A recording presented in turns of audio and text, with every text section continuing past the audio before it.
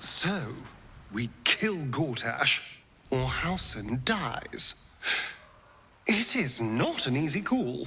On the one hand, killing Gortash will be fun. On the other, Halsin can be very annoying. Hmm. We probably should save the druid, though. He does have his uses.